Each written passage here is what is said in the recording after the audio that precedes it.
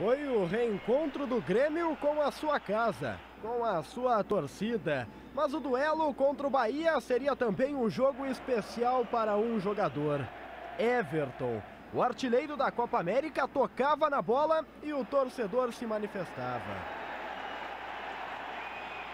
Só que dentro de campo as coisas estavam complicadas. A primeira chegada foi só aos 24 minutos um chute fraco. Jean-Pierre colocou na trave a melhor oportunidade. E no rebote, André não conseguiu completar como queria. O centroavante ainda teve outra chance, dessa vez de cabeça, mas o goleiro Douglas fez grande defesa. Em meio aos ataques, Everton seguia dando seu show à parte. E foi dos pés dele que surgiu o lance do gol. No drible em cima de Douglas, pênalti para o tricolor. Na cobrança, o próprio Cebolinha foi para a bola. Everton partiu, bateu! Gol!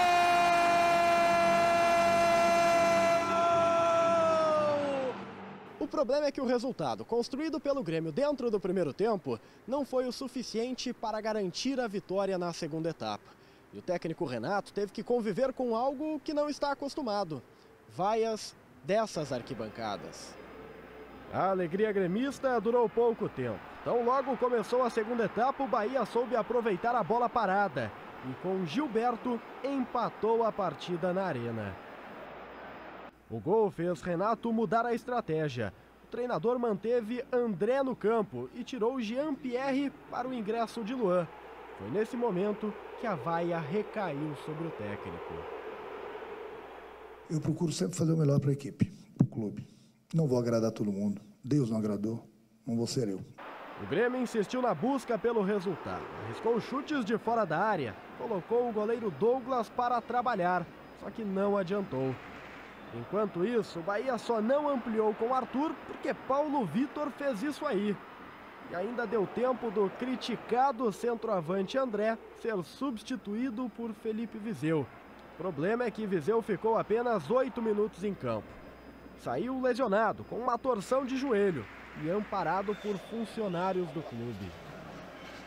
No campo, o resultado ficou assim: um para o Grêmio, um também para o Bahia no primeiro encontro pelas quartas de final. É, tentar desviar um pouco né, das vaias. Às vezes é direcionado a um jogador ou outro, mas a equipe toda sente, né? Porque aqui a gente está em busca do mesmo objetivo, né? Mas é como eu falei, é, o importante foi que a gente lutou até o final.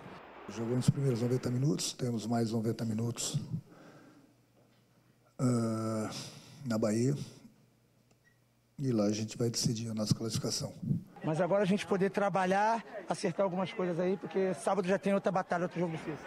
Não foi do jeito que o torcedor queria, mas o Grêmio está de volta.